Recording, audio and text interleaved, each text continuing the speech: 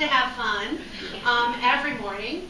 We love to have fun all the time, but for sure we like to have fun on Sunday morning. Take things this spiritual, this spiritual journey lightly, with fun. Because why? We are opening hearts and minds to those infinite possibilities, to infinity and beyond. And I mentioned last week, what does that mean? That we are opening our hearts and minds to infinite possibilities. So it means a different thing to everyone. But to me, it really is that we come together on Sundays to remember that there is only one thing, that what this one thing is God is in us, through us, around us, surrounding us. And the closer that we get to remembering that, consciously, consistently, and deliberately, we get to create our lives the way that we want to create it. So those words, because I'm up here speaking, dreams and possibilities, they ring my chimes.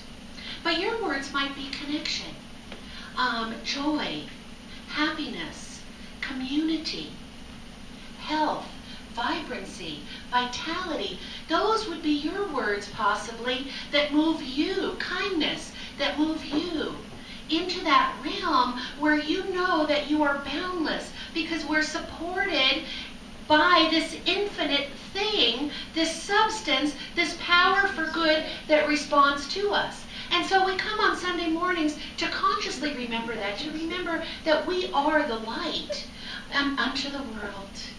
And can do it so with a lot of fun. Because here's what happens, at least for some of us, you know, like if we're not doing this thing called life perfectly, if we're not doing this thing called spirituality perfectly, I'm going to talk about that a little bit. Some of us, nobody here I know, but some of us can enter maybe into some regret, remorse, self flagellation. That we've been doing this for a long time and why aren't we further along? And that doesn't serve us. So we can have fun because whatever it is, it's perfect just as it's unfolding. Anyway, uh, so anyway, that's what infinite possibilities means to me.